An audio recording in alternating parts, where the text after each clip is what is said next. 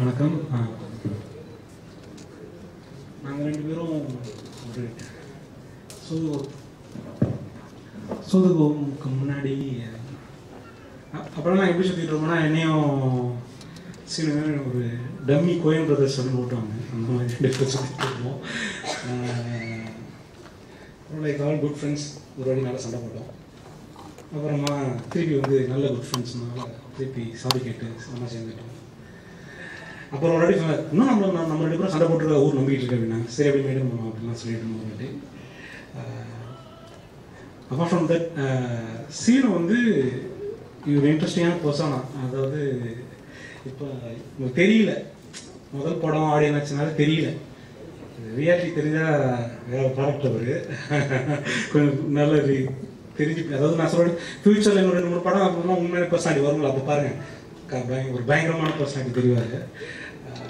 அப்புறம் எனக்கு ரொம்ப நல்ல ஃபில்ம் மேக்கிங் நல்ல ஃப்ரெண்ட்ஸ் எல்லாம் இன்ட்ரடியூஸ் ஆனதுக்கு சீன் வந்து முக்கியமான காரணம். நல்ல எக்ஸ்போசர் ஆஃப் சினிமா வந்திருக்கு ஃபார் எக்ஸாம்பிள் சூதுகுமன் வந்து பேப்பர் வந்து அதனால டெய்லி டேட் மாதிரி விற்கிறாங்க அந்த டைலாக் அந்த மாதிரி அந்த டைலாக் கொடுத்தது சீனு தான். ஒரு அந்த இப்போ ஃபஸ்ட் ஃபஸ்ட்டு என்னை மீட் பண்ணது வந்து நாளைக்கு முடிச்சுட்டு நான் லைன்ஸில் வந்து நான் ஒரு சாங் வந்து நாட்கிங்கோட ஒரு சாங் எடுத்து யூஸ் பண்ணியிருந்தேன். சும்மா அது யார் என்னன்னே தெரியாமல் எடுத்து ஒரு காமெடி சீக்வன்ஸ் யூஸ் பண்ணேன். அது பயங்கரமான ரொமான்டிக் சாங் அது. அது ஒரு காமெடி நான் யூஸ் பண்ணேன்.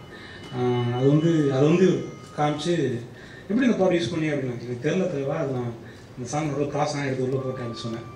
ஸோ அப்படி தான் நாங்கள் ரெண்டு இன்ட்ரடியூஸ் ஆனோம். ஸோ இந்த மாதிரி எஸ் ஆல்வேஸ் கிரேட் டேஸ்ட் வாண்டரோட ஒரு பயங்கரமான ஃபேனு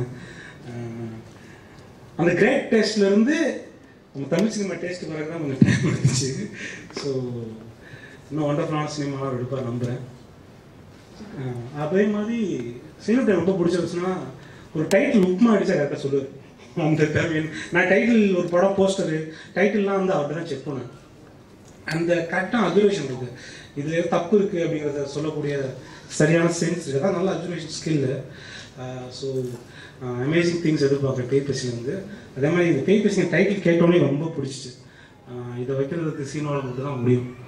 நன்றி. தேங்க்யூ